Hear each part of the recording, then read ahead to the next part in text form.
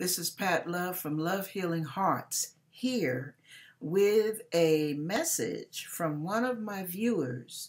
Um, his his uh, site is called Mighty Warriors of God's Kingdom Ministries from Mighty Warriors of Yah.com. Now listen, um, I'm going to his name. Wait a minute, the name they that uh, that my viewer goes by is AthaleYah. It's A T H A L E Y A H.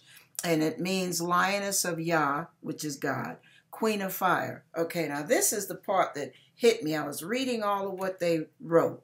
And this is what really gripped me in my spirit. And this is what I feel I should read right now. It's very short.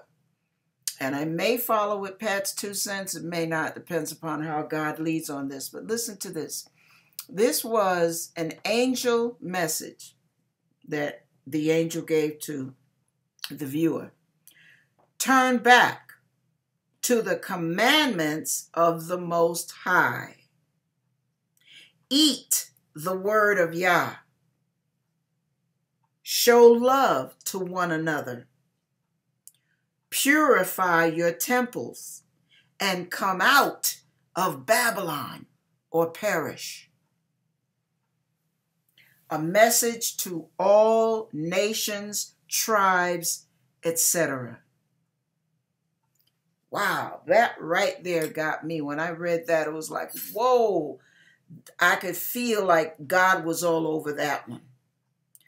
Um, listen, you guys, when God comes with a strong command like that, He's not playing. It's an urgent situation. And a lot of times we want to take it lightly even in the New Testament, it says, because God is merciful and he waits and he has prolonged his judgment because he's not willing that any should perish, but that all should come to repentance. So we as people are like little spoiled little kids. We don't get the whooping, we don't get the correction, so we think we can do anything we want because mom and daddy ain't going to do nothing anyway. But God has a. Uh, he has a boiling point. And when he draws that line in the sand, playtime is over. Listen, that was a serious warning. I'm going to read it again. That was a serious warning. Angel message turn back to the commandments of the Most High. Eat the word of Yah. That means read his Bible. Show love to one another. Boy, we need that big time, saints. Purify your temples and come out of Babylon or perish. A message to all nations and tribes, etc. That is so serious.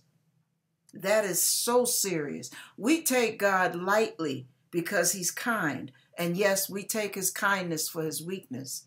And it's not weakness, it's called mercy. But when God gets angry, I don't want to be here to see his wrath. And I hope you have enough sense not to want to be here either. Please, whatever you do, reassess where you are with the Lord. That's a serious warning, you guys.